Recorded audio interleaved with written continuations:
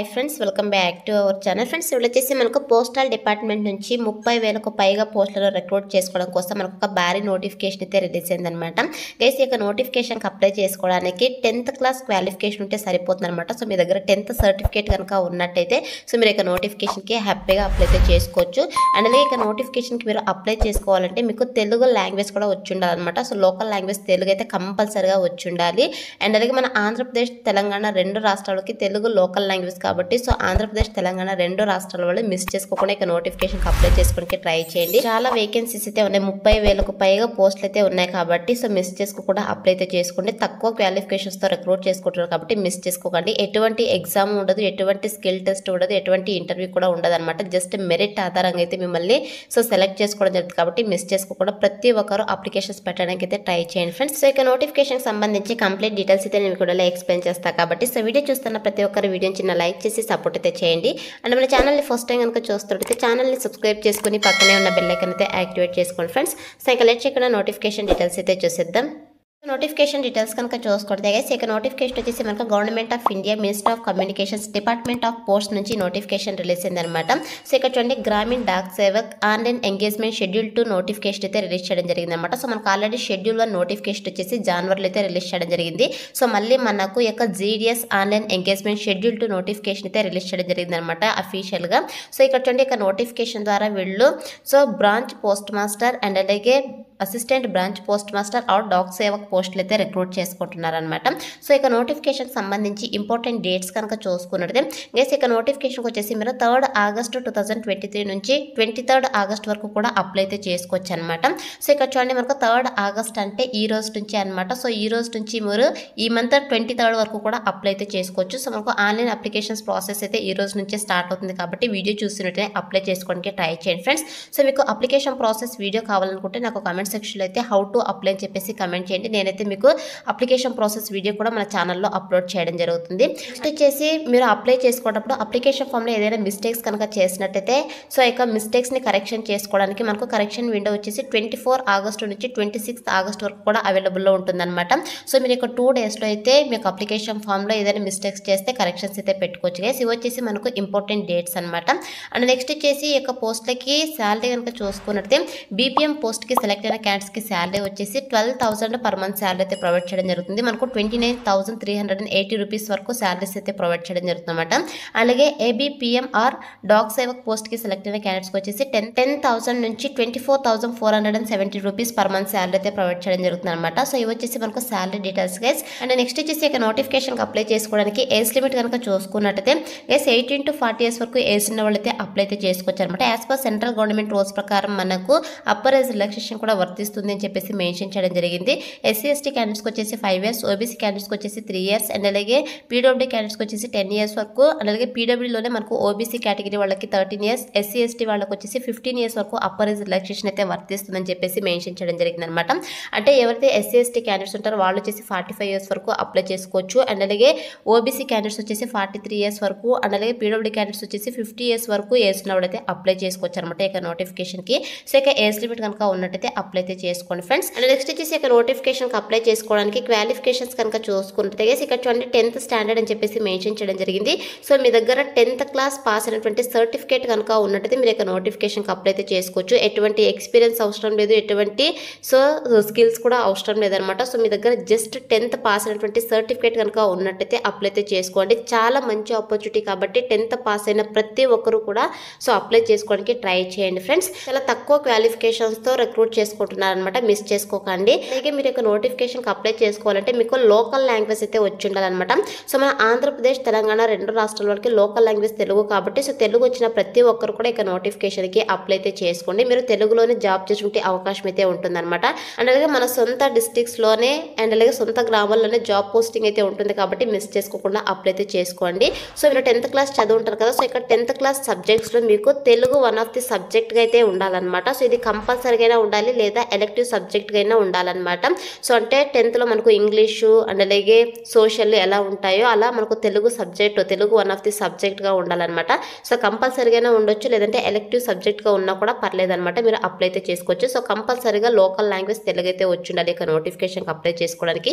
So కాబట్టి తెలుగు వచ్చిన ప్రతి ఒక్కరు కూడా అప్లై అయితే చేసుకోండి ఫ్రెండ్స్ అండ్ నెక్స్ట్ వచ్చేసి ఇక్కడ అదర్ క్వాలిఫికేషన్స్ కనుక చూసుకుంటే గైస్ మీకు కంప్యూటర్కి సంబంధించి కొద్దిగా నాలెడ్జ్ కనుక ఉన్నట్టయితే ప్రిఫరెన్స్ ఇవ్వడం జరుగుతుంది. అలాగే సైక్లింగ్ సంబంధించి మీకు నాలెడ్జ్ కనుక ఉన్నట్టయితే ప్రిఫరెన్స్ అయితే ఇవ్వడం జరుగుతుంది అనమాట మ్యాండేటరీ అయితే కాదు కాబట్టి ప్రతి ఒక్కరు కూడా అప్లై అయితే చేసుకోండి.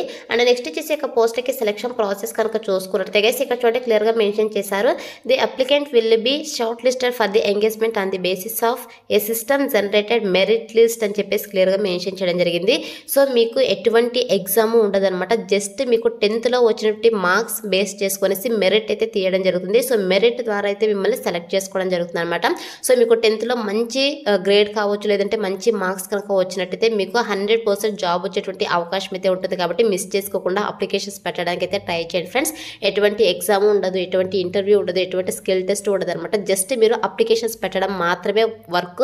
మీకు టెన్త్లో మంచి మార్క్స్ కనుక ఉన్నట్టయితే హండ్రెడ్ పర్సెంట్ జాబ్ వచ్చేటువంటి అవకాశం అయితే ఉంటుంది కాబట్టి మిస్ చేసుకోకుండా అప్లై అయితే చేసుకోండి. సో మనకు సిస్టమ్ జనరేటెడ్ మెరిట్ లిస్ట్ అయితే ఉంటుంది అనమాట మీరు అప్లై చేసుకున్న తర్వాత so system generated merit list ద్వారా అయితే వీళ్ళు. సో మెరిట్ అయితే తీసేసి సెలెక్ట్ అయిన క్యాండిడేట్స్కి డాక్యుమెంట్ వెరిఫికేషన్ చేసేసి జాబ్ పోస్టింగ్ అయితే ఇవ్వడం జరుగుతుంది అనమాట అంటే మనకు కంప్యూటర్ బేస్డ్ మెరిట్ అయితే తీయడం జరుగుతుంది. సో కంప్యూటరే జనరేట్ చేస్తుంది అనమాట సో మీకు వచ్చినటువంటి మార్క్స్ని బేస్ చేసుకొని మెరిట్ అయితే తీయడం జరుగుతుంది. సో ఇలా మనకు సెలక్షన్ ప్రాసెస్ అయితే ఉంటుంది కాబట్టి సో మిస్ చేసుకోకుండా అప్లై అయితే చేసుకోండి ఫ్రెండ్స్ సో మనకి ఇక్కడ చూడండి గ్రేడ్స్ అలాగే పాయింట్స్ మార్క్స్ కూడా క్లియర్గా మెన్షన్ చేశారు. సో మీరు ఎలా అప్లై చేసుకోవాలని చెప్పేసి సో మనకు ఏ వన్ అయితే టెన్ పాయింట్స్ అంటే ఏ టూ అయితే నైన్ పాయింట్స్ సో మీకు టెన్ టెన్ పాయింట్స్ కనుక వచ్చినట్టయితే హండ్రెడ్ పర్సెంట్ మీకు జాబ్ వచ్చేటువంటి అవకాశం అయితే ఉంటుంది కాబట్టి అప్లై అయితే చేసుకోండి. ఫ్రెండ్స్ అండ్ నెక్స్ట్ వచ్చేసి మీరు యొక్క నోటిఫికేషన్కి అప్లై చేసుకోవాలంటే అప్లికేషన్ ఫీ అయితే పే చేయాల్సి ఉంటుంది అనమాట కేసు ఎవరైతే ఫిమేల్ క్యాండిడేట్స్ అలాగే ఎస్సీ ఎస్టీ పీడబ్ల్యూడీ క్యాండిడేట్స్ అలాగే ట్రాన్స్ ఉమెన్స్ క్యాండిడేట్స్ ఉంటారో సో వీళ్ళకి వచ్చేసి ఎటువంటి అప్లికేషన్ ఫీ అయితే లేదనమాట సో మీరు ఫ్రీగా అయితే అప్లై అయితే చేసుకోవచ్చు ఆన్లైన్లో. సో మిగతా జనరల్ కేటగిరీ వాళ్ళు ఎవరైతే ఉన్నారో సో వాళ్ళు వచ్చేసి హండ్రెడ్ రూపీస్ అప్లికేషన్ ఫీ అయితే పే చేయాల్సి ఉంటుంది అనమాట సో అప్లికేషన్ ఫీ కూడా చాలా తక్కువగా ఉంది కాబట్టి సో అప్లికేషన్స్ పెట్టడానికి అయితే ట్రై చేయండి. ఫ్రెండ్స్ ఈ యొక్క అప్లికేషన్ ఫీ కూడా మీరు ఆన్లైన్లోనే పే చేయాల్సి ఉంటుంది. అండ్ నెక్స్ట్ చేసి మీరు యొక్క నోటిఫికేషన్కి ఎలా అప్లై చేసుకోవాలో కనుక చూసుకున్నట్టే గైస్ మీరు ఆన్లైన్లోనే అప్లై అయితే చేసుకోవాల్సి ఉంటుంది అనమాట సో వీళ్ళ అఫీషియల్ వెబ్సైట్లకి అయితే వెళ్ళేసి అప్లై అయితే చేసుకోవాల్సి ఉంటుంది. అఫీషియల్ వెబ్సైట్ కనుక చూసుకున్నట్టే India postal GDS online dot G O V dot ఐఎన్లోకి వెళ్ళేసి మీరు అప్లై చేసుకోవాల్సి ఉంటుంది అనమాట సో నేను అఫీషియల్ వెబ్సైట్ లింక్ అంటే అప్లై లింక్ అయితే నేను డిస్క్రిప్షన్లో ప్రొవైడ్ చేశాను. సో అక్కడ నుంచి మీరు డైరెక్ట్గా అఫీషియల్ వెబ్సైట్లోకి అయితే వెళ్ళేసి ఫస్ట్ రిజిస్ట్రేషన్ చేసుకున్న తర్వాత మీరు మీ యొక్క బేసిక్ డీటెయిల్స్ అన్ని ఇచ్చేసి పేమెంట్ అయితే పే చేసేసి మీకు అప్లికేషన్ అప్లికేషన్ అయితే సబ్మిట్ చేయాల్సి ఉంటుంది. సో మీకు అప్లికేషన్ ప్రాసెస్ కావాలి అనుకుంటే నాకు కమెంట్ సెక్షన్లో హౌ టు అప్లై అని చెప్పేసి కమెంట్ చేయండి. నేనైతే హండ్రెడ్ పర్సెంట్ మీకు అప్లికేషన్ ప్రాసెస్ వీడియో కూడా చేయడం జరుగుతుంది. ఎక్కువ కమెంట్స్ కనుక వచ్చినట్టయితే. సో ఏదైతే గుర్తుపెట్టుకోండి ఇలా మీరు ఆన్లైన్లో అప్లై అయితే చేసుకోవాల్సి ఉంటుంది. సో మీరు ఆన్లైన్లో అప్లై చేసుకున్నప్పుడు ఏమేమి డాక్యుమెంట్స్ అప్లోడ్ చేయాలని చెప్పేసి కూడా క్లియర్గా మెన్షన్ చేయడం జరిగింది. గైస్ మీరు వచ్చేసి రీసెంట్ ఫోటోగ్రాఫ్ అండ్ అలాగే సిగ్నేచర్ అయితే అప్లోడ్ చేయాల్సి ఉంటుందన్నమాట. సో ఇక రీసెంట్ ఫోటోగ్రాఫ్ వచ్చేసి మనకు ఫిఫ్టీ కేబీ కంటే ఎక్కువ ఉండకూడదు అనమాట ఫిఫ్టీ కేబీ ఉండేటట్టయితే చూసుకోండి. అలాగే సిగ్నేచర్ కూడా మనకు ట్వంటీ కేబీ అయితే ఉండాలన్నమాట. సో ట్వంటీ కేబీ ఉంటేనే అప్లోడ్ అవుతుంది. సో ఈ యొక్క ఫార్మెట్ అయితే మీరు ఈ యొక్క డాక్యుమెంట్స్ అయితే అప్లోడ్ చేయాల్సి ఉంటుందని చెప్పేసి మెన్షన్ చేయడం జరిగింది అనమాట అండ్ నెక్స్ట్ వచ్చేసి మీరు అప్లికేషన్ ఫామ్లో ఏదైనా సో మిస్టేక్స్ చేస్తే మనకు కరెక్షన్ విండో కూడా ఉంటుంది కాబట్టి సో అప్లై అయితే చేసుకోండి. మీరు సో ట్వంటీ ఫోర్ నుంచి ట్వంటీ సిక్స్త్ ఈ యొక్క టూ డేస్లోనే మీరు ఏమైనా అప్లికేషన్ ఫామ్స్లో మిస్టేక్స్ కనుక చేస్తున్నట్టయితే ఎడిట్ అయితే చేసుకోవచ్చు అనమాట ట్వంటీ ఫోర్ నుంచి ట్వంటీ సిక్స్త్ డేట్స్లో అండ్ నెక్స్ట్ వచ్చేసి గైస్ మీరు ఆన్లైన్లో అప్లై చేసుకునేటప్పుడు మీరు డివిజన్స్ అయితే సెలెక్ట్ చేసుకోవాల్సి ఉంటుంది అనమాట అంటే మీరు ఏ ఏ డివిజన్స్కి అప్లై చేసుకోవాలనుకుంటున్నారో ఆ యొక్క డివిజన్స్ అయితే మీరు సెలెక్ట్ చేసుకోవాల్సి ఉంటుంది. సో మీరు ఆ యొక్క డివిజన్స్ని సెలెక్ట్ చేసుకోవడం వల్ల మీకు ఆ యొక్క డివిజన్స్లోనే జాబ్ పోస్టింగ్ వచ్చేటువంటి అవకాశం అయితే ఉంటుందన్నమాట. అంటే ఆ యొక్క డివిజన్లో మీకు ఎక్కువ మెరిట్ కనుక ఉన్నట్టయితే అందరికంటే సో మీకు ఆ ఏరియాస్లోనే జాబ్ పోస్టింగ్ అయితే రావడం జరుగుతుంది కాబట్టి సో మీరు అప్లై చేసుకునేటప్పుడు ఇక్కడ డివిజన్స్ అయితే సెలెక్ట్ చేసుకోవాల్సి ఉంటుంది. గైస్ ఇదైతే గుర్తుపెట్టుకోండి. కంపల్సరీగా డివిజన్స్ అయితే సెలెక్ట్ చేసుకోవాల్సి చేసుకోవాల్సి ఉంటుంది. అండ్ నెక్స్ట్ వచ్చేసి మీరు ఇక నోటిఫికేషన్కి అప్లై చేసుకున్న తర్వాత షార్ట్ లిస్ట్ అయితే అవుతారు కదా. సో షార్ట్ లిస్ట్ అయిన క్యాండిడేట్స్కి వీళ్ళు ఎస్ఎంఎస్ ద్వారా కావచ్చు లేదంటే మీరు అప్లై చేసుకునేటప్పుడు మొబైల్ నెంబర్ అయితే ఇచ్చుంటారు కదా రిజిస్టర్ మొబైల్ నెంబరు సో ఆ యొక్క మొబైల్ నెంబర్కి అయితే వీళ్ళు ఎస్ఎంఎస్ ద్వారా అయితే ఇంటిమేట్ చేయడం జరుగుతున్నట్టు మీరు షార్ట్ లిస్ట్ అయ్యారు డాక్యుమెంట్ వెరిఫికేషన్కి రండి అని చెప్పేసి. సో మీరు డాక్యుమెంట్ వెరిఫికేషన్కి అయితే వెళ్ళాల్సి ఉంటుంది. సో మనకు fifteen days or ten days అయితే టైం అయితే ఇవ్వడం జరుగుతుంది. సో ఇక ఫిఫ్టీన్ డేస్లో మీరు ఏదో ఒక రోజు వాళ్ళు చెప్పినటువంటి అడ్రస్కి అయితే వెళ్ళి సో డాక్యుమెంట్ వెరిఫికేషన్ కోసం అయితే వెళ్ళాల్సి ఉంటుందని చెప్పేసి మెన్షన్ చేయడం జరిగిందనమాట. సో మనకు మెయిల్కి లేదంటే సో మెసేజెస్ ద్వారా అయితే వీళ్ళు షార్ట్ లిస్ట్ అయినట్టు తెలియజేయడం జరుగుతుంది కాబట్టి మిస్ చేసుకోకుండా అప్లై అయితే చేసుకోండి. అండ్ అండ్ అలాగే మనకు అఫీషియల్ వెబ్సైట్లో కూడా అప్డేట్ అయితే చేయడం జరుగుతుంది అనమాట సో ఎవరైతే షార్ట్ లిస్ట్ అయ్యారో సో ఇక షార్ట్ లిస్ట్ అయినటువంటి లిస్ట్ అయితే మనకు అఫీషియల్ వెబ్సైట్లో కూడా అప్డేట్ అయితే చేయడం జరుగుతుంది ఫ్రెండ్స్. సో ఇలా అయితే మనకు సెలక్షన్ ప్రాసెస్ అయితే ఉంటుంది. అండ్ నెక్స్ట్ వచ్చేసి మనకు వేకెన్సీస్ కనుక చూసుకుంటే గైస్ ఇక నోటిఫికేషన్ ద్వారా మనకు ముప్పై వేల పోస్టులు అయితే రిక్రూట్ చేసుకుంటున్నారనమాట సో మనకి ఇంకా డివిజన్ వైజ్ పోస్టుల లిస్ట్ అయితే మెన్షన్ చేయలేదన్నమాట. సో మనకి ఈరోజు అఫీషియల్ వెబ్సైట్ అయితే ఇక డివిజన్ వైజ్ అయితే ఎన్నెన్ని వేకెన్సీస్ ఉన్నాయని చెప్పేసి లిస్ట్ అయితే మెన్షన్ చేయడం జరుగుతుంది. సో మనకు సో థర్టీ థౌసండ్ వరకు వేకెన్సీస్ అయితే ఉన్నాయి కాబట్టి సో మిస్ చేసుకోకుండా ప్రతి ఒక్కరు అప్లికేషన్స్ పెట్టడానికి అయితే ట్రై చేయండి. సో మీకు జాబ్ రావడం రాకపోవడం సెకండరీ అనమాట సో ఫస్ట్ అయితే అప్లై చేసుకోండి. సో మనం అప్లై చేసుకోవడంలో ఎటువంటి తప్పైతే లేదు. అందులో అప్లికేషన్ ఫీ కూడా తక్కువ. అండ్ అలాగే ఎస్సీ ఎస్టీ క్యాండిడేట్స్కి ఉమెన్ క్యాండిడేట్స్కి ట్రాన్స్ ఉమెన్స్ క్యాండిడేట్స్కి అప్లికేషన్ ఫీ అయితే లేదు కాబట్టి సో మ్యాక్సిమం అప్లికేషన్స్ పెట్టడానికి అయితే ట్రై చేయండి ఫ్రెండ్స్ ఇది వచ్చేసి మనకు GDS online engagement official website అనమాట సో మీరు అఫీషియల్ వెబ్సైట్లకే వచ్చేసి అప్లై అయితే చేసుకోవాల్సి ఉంటుంది. సో ఇక అఫీషియల్ వెబ్సైట్ లింక్ అయితే నేను డిస్క్రిప్షన్లో ప్రొవైడ్ చేశాను అప్లై లింక్ అని చెప్పేసి.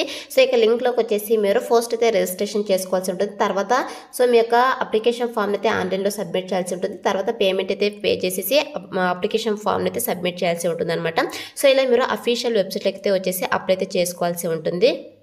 సో ఇది వచ్చేసి నోటిఫికేషన్ డీటెయిల్స్ కేస్ మనకు టెన్త్ క్వాలిఫికేషన్స్తో అప్లై చేసుకునే విధంగా ఈ నోటిఫికేషన్ అయితే రిలీజ్ అవ్వడం జరుగుతుంది కాబట్టి మిస్ చేసుకోకుండా అప్లై అయితే చేసుకోండి.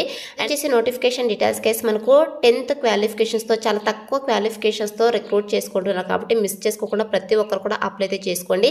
వే వేకెన్సీస్ కూడా చాలా ఎక్కువ ఉన్నాయి. అండ్ అలాగే మన సొంత గ్రామంలో జాబ్ పోస్టింగ్ అయితే ఉంటుంది కాబట్టి మిస్ చేసుకోకుండా అప్లై అయితే చేసుకోండి ఫ్రెండ్స్ సో ఇది వచ్చేసి మనకు government of India minister of communications department of posters నుంచి రిలీజ్ అయినటువంటి Gramin Dak Sevak online engagement schedule to notification అనమాట సో ఇక నోటిఫికేషన్కి సంబంధించి ఇంపార్టెంట్ లింక్స్ అన్ని కూడా డిస్క్రిప్షన్లో ప్రొవైడ్ చేశాను. సో అక్కడ నుంచి మీరు మన ఎస్టీఐ జాబ్స్ ఇన్ఫో డాట్ కామ్లోకి అయితే వెళ్ళేసి సో నోటిఫికేషన్ని డౌన్లోడ్ చేసుకునేసి క్లియర్గా ఒకటికి రెండు సార్లు చెక్ చేసుకునేసి సో ఆన్లైన్లో అప్లై అయితే చేసుకోండి ఫ్రెండ్స్ ఈ రోజు నుంచి. So that's all for today guys hope video మీకు యూస్ఫుల్ అవుతుంది అనుకుంటున్నాను. సో వీడియో అయితే లైక్ చేయండి అలాగే మీ ఫ్రెండ్స్ అందరూ కూడా షేర్ చేయండి. సో దట్ వాళ్ళకు కూడా హెల్ప్ఫుల్ అయితే అవుతుంది. Thanks for watching